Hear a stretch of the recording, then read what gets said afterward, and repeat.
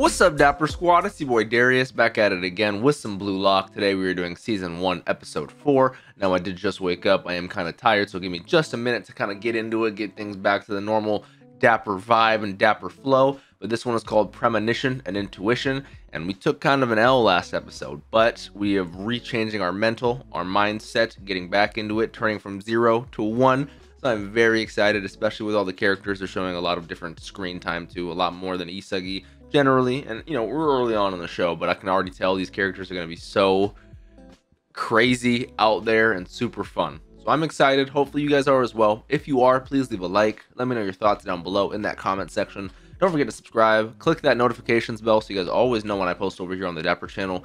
Make sure you guys check out that Patreon for the full uncut versions of this episode, as well as early access and uncuts to the other shows, One Piece, Kuroko no Basket, Assassination Classroom, all that jazz. Uh, let's hop right on into it. Premonition and Intuition, Blue Lock, Episode 4. Let's do it. Magnificent shooting. Sexy soccer. Everyone's going over their pros and cons, their physical attributes, you know. Your never give up attitude. Isagi's like, I'm just kind of an average dude. I'm, yeah. Is it weird that I, I hear Inosuke every time I hear him talk? Not telling. They showed a lot of emphasis on Chigiri during the ending, so I'm curious about him.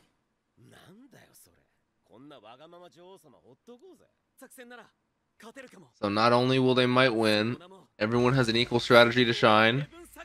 Operation next up, it's me 11. Hmm. Ooh, some natto again. You gotta get a higher rank, bro, so your side dishes can be better, you know? Alright, it's been a week total. That's something we gotta work on. I feel like that that monster that Bachira talks about is gonna be a part of it, and we are gonna develop a weapon, it's gonna be something specific to Isagi. And it's gonna help with his confidence a little bit. I'm ready for it. What up, Kunigami? I was just here, Kagami.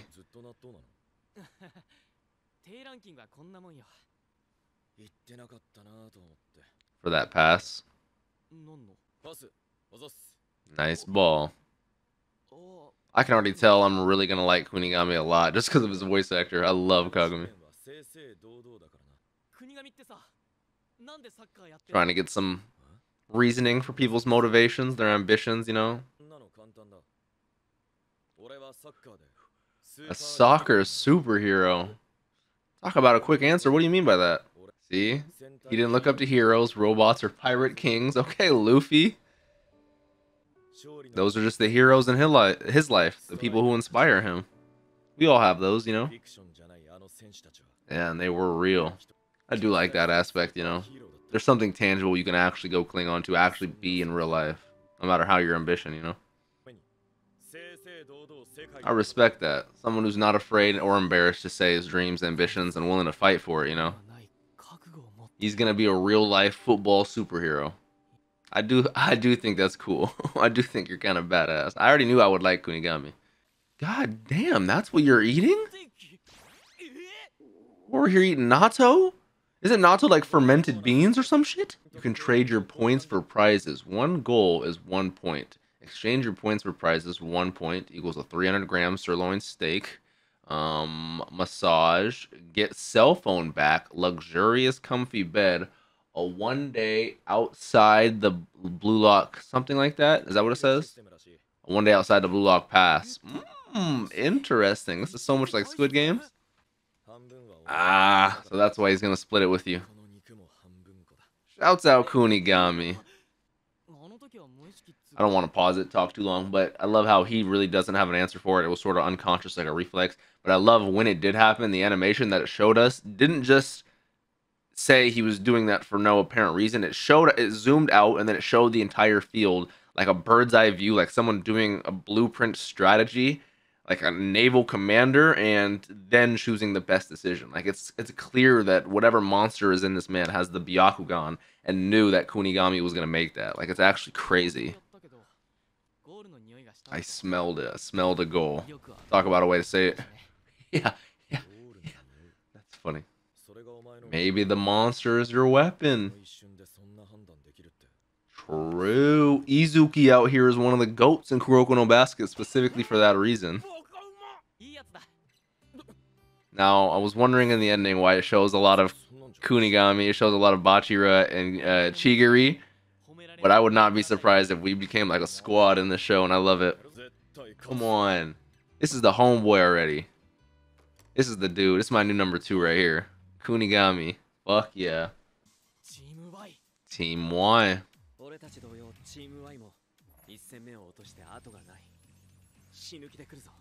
On their number nine. His shooting's off the chart. Okawa.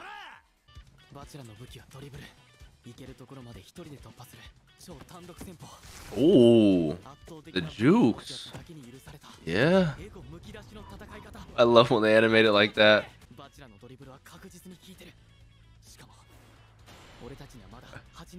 Yeah, when you think about it like that, you guys have a relatively strong team. You guys will find an opening. Come on, I got faith. Wingers move. Now Kunigami's at the front.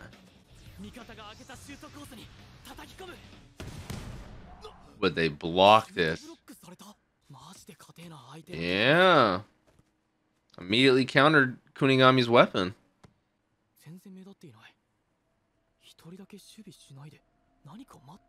What's going on? Now they're going now they're going on the attack. Okawa, who's been quiet the whole time.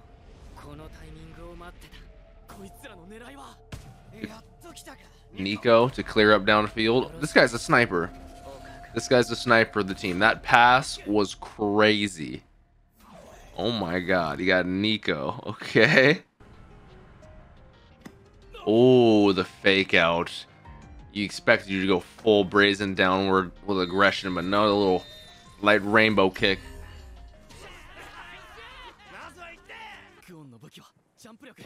Ooh, okay, header. Shouts out my boy Kuon.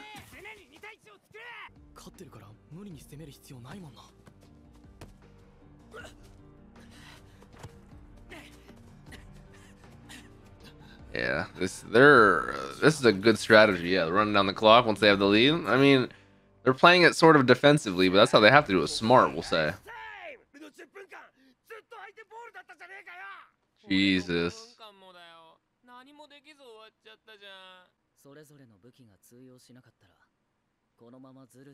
I mean, Chigiri's not wrong. It's a valid rebuttal, though. We don't even know your weapon. Instead of instead of everyone's weapons just being shown for fairness and equality, we should choose the weapons specifically that counter them.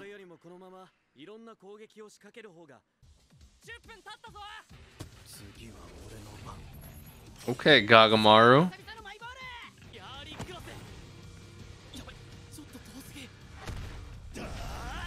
His weapon is his incredible agility. Oh, it got blocked, but I respect the full frontal dive header. He even slid on his face. Oh. I was like, no, I think that's your monster, buddy. This premonition comes from... We misread the situation. Is Nico? Anytime they do that, you know it's badass. Yeah, he stopped Nico, Nico from getting it? The beating heart of Team Y. Ooh. The premonition is the monster telling him, you gotta mark this dude. Okay, Mr. Bangs. You see, bro, if Isagi makes this, come on. Oh, Nico said, hey, buddy, you're not the only one on my ass. I'm on yours. That fucking shot. My man is taking so many physical injuries just trying to get these goals in. That shot where it went from Isagi's foot over to Gagamaru oh, was one of the sickest shots I've seen. Shouts out Gagamaru.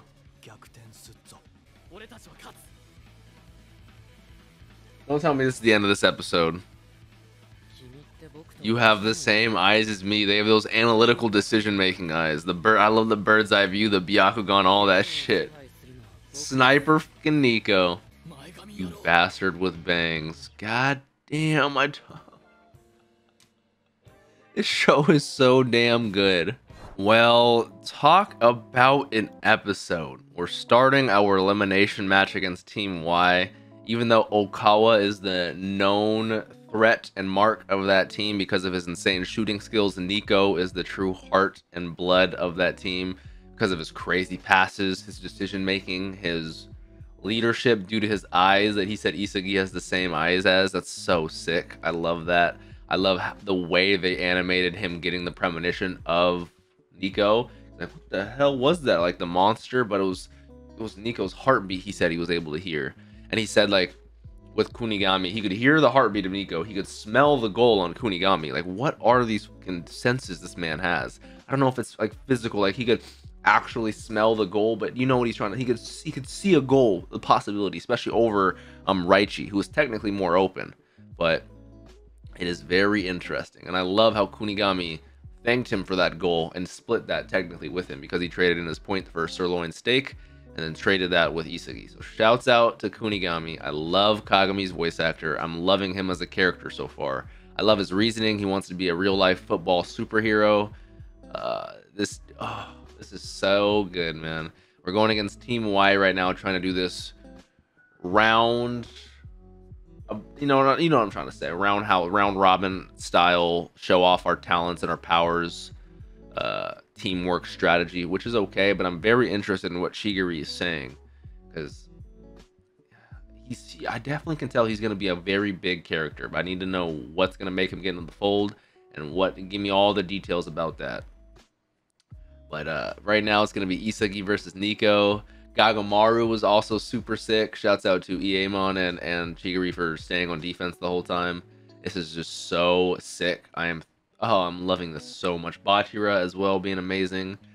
I don't know, man. I just Saturdays are just stacked for me. Like my hero, Spy Family, and this. I love it so much. Hopefully you guys enjoy. If you did, please leave a like. Let me know your thoughts down below. Don't forget to subscribe. Click that bell so you guys always know when I post over here on the Dapper channel. Check out that Patreon, full uncut versions. We're gonna drink some water. Tell someone you love them. Have a great day, Dapper Squad. Peace.